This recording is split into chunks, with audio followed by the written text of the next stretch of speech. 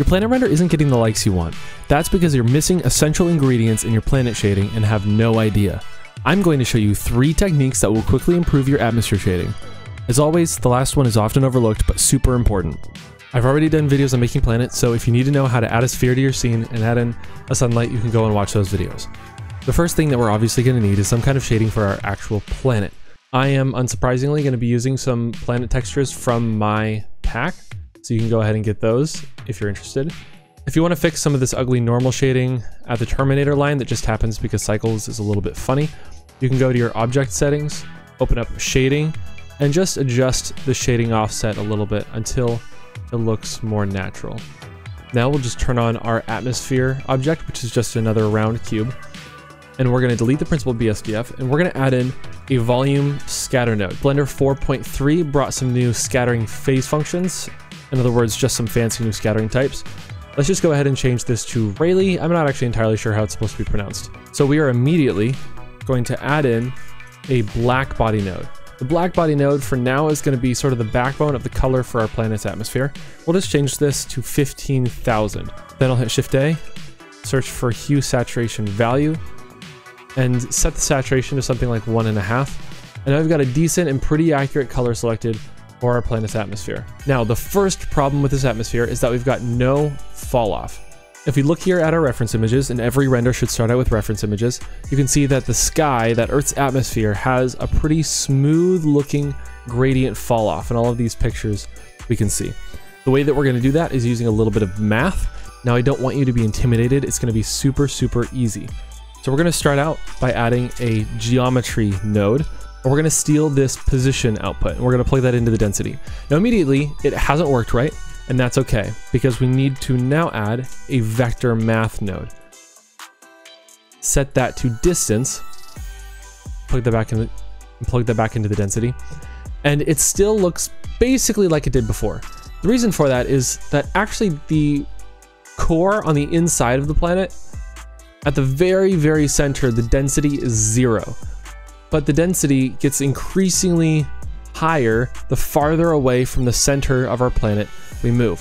So what we're going to do is we're going to add in a map range node. And what we're going to do with this is this from minimum value is going to become the new height of our atmosphere. So if we just take this and change it to 1.01, we can see that we've now got this really tight atmosphere. And not only is it tight, it's now a smooth gradient. It looks pretty even still, but this is in fact a smooth gradient. Now the next thing that we want to do is thicken up the atmosphere and adjust the slope a little bit. So we'll just add in a math node, set that to multiply, and we'll just increase this value to something like 15. Here we're going to duplicate this multiply node, place it before, and set it to power. And you can see that instantly just by increasing the power and the multiply, we're getting a thick atmosphere fall off. The second step is layers. Earlier I said that the atmosphere is a nice smooth gradient. I kind of lied to you.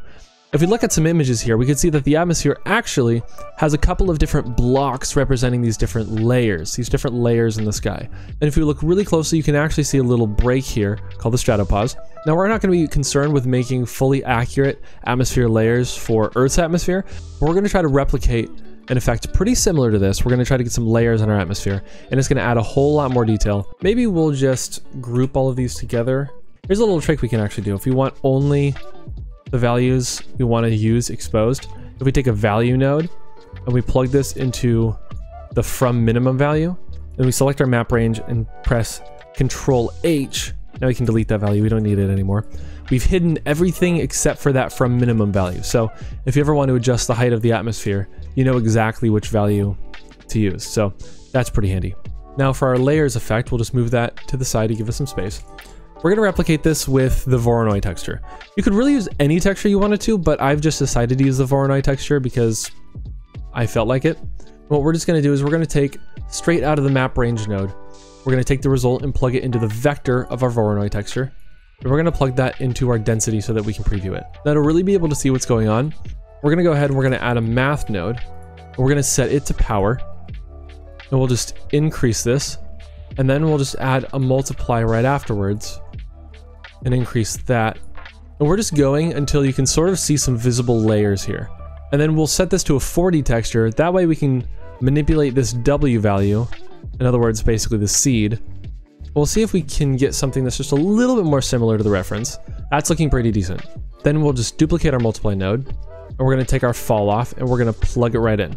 And immediately we're gonna see while these layers are maybe a little bit too intense, we are getting the effect of atmosphere layers. That's looking great. Now what we can do if we want to bring down the intensity of that effect a little is we can add in a mix node right here and we'll just plug our uh, layers into the B and then we'll take the value from our regular fall off and plug it into the A input. This way this is acting like a factor. We can say zero for no layers and one for 100% layers mix. So we can just turn that down to like 0.5 Little trick, if we press Control B, we can box select an area of the render view and just preview that box and it will render a whole lot faster since it's this tiny window. Let's bring that factor all the way back up and mess with this until we get a spread of layers that we kind of like. Maybe we want to increase the saturation of the atmosphere just a little. We're gonna go over to the render tab really quick actually. Open up volumes and set viewport step rate to 0.1. Let's stop for one second because I just want to talk really quickly about my planet textures that I teased at the beginning of the video. Right now we're using one of the desert planets, but maybe we want to go for a little bit of a different vibe. Here's the lava planet from that same texture pack. Here's an example of one of the alien planets that also has some cool emissive textures. Every texture set also comes with a displacement texture so you can get real physical displacement for even more detailed planet renders. Every planet material, in addition to being completely unique, is based on real scans of real planets from our solar system, which breathe in them a kind of life and detail that you just don't get with completely procedural textures. I'm going to stick with the desert texture for the rest of this tutorial, but if you want to check out my planet textures, you can go to the link in the description or click the button on screen to take your planet renders to the next level right now. We're going to move on to our third step. So what I'm going to do, set the atmosphere to bounds and the clouds to bounds, then we're going to hold down Alt and middle click on a point on our surface, maybe right there. And we're just going to zoom all the way. And we're actually going to open the N panel and change our clip start to something really insane. We're just going to get right down to the surface of our planet here. So if we're sitting on the surface of our planet, looking up into the sky that we've created, and we can see the sun, the third thing that we have to get down is called Mie scattering. I think it's pronounced Mie scattering. It's this little halo that appears around the sun that is caused by little droplets of water in Earth's atmosphere, scattering the light a little bit more directly. If we just Control Shift D this volume scatter, change it from Rayleigh to me, we're gonna go over to our exposure and bring it down, we can see that we're immediately getting that halo. This is perfect. Now it's a little bit too tight, I think, so I'm gonna bring down the, the diameter right now about 10. We might mess with this a little bit later. And then we're just gonna add in a mix shader. And we'll just play with a factor that makes sense. And if we select our sun, double tap R, and just drop it below the horizon line, you can see we're getting a bit of that halo just above the horizon. We're not perfect on our atmosphere yet, but this is getting pretty close. Control Alt B to undo that. Now what you're going to immediately notice is that the atmosphere appears a lot darker from space when you're looking at the planet head on. But when we spin around and look in the direction of the sun, we're going to see that the atmosphere thickens up a whole lot. We're getting a much brighter effect. This is exactly the kind of thing that we're looking for. But right now it's perhaps a little bit too intense. So let's start playing with our settings. We're also at this point going to realize that our power and multiply here and our fall off is not intense enough. So we're going to bring up the power by probably a lot and then multiply it by a lot. We're going to add in another multiply node just we have like kind of master multiplication, master intensity over the entire atmosphere. So here you can see that we're getting back to kind of a normalized brightness on the atmosphere, but again, it's getting really nice and thick when we preview it in the direction of the sun.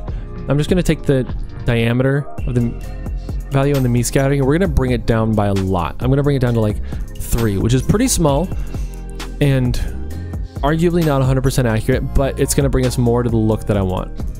The way to know whether your sky shading is accurate or not is if it actually looks like a sky from the ground. So we'll just pop back down onto the ground and then we'll just play around with these fall off settings until we get more of this dark line along the bottom.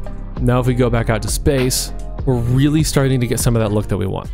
Now, the one last touch that I'm going to add on top of all of this is that the way that me and Rayleigh scattering mixes is according to altitude. What we're just gonna do is we're gonna add in one more math node, set it to power. We're gonna plug this gradient map range into it. And then we're gonna plug that into the factor of our mix shader here. And zooming back out to space, we're just kind of gonna eyeball it. Like I said, we're not going for something scientific for this. We're just gonna go just until we see a little bit of that brightness return back to the atmosphere. And that's how we know we're kind of in a good spot with it. But yeah, this is looking pretty good. Now, congratulations, you have just made a much more realistic, much more accurate, much more robust sky shader.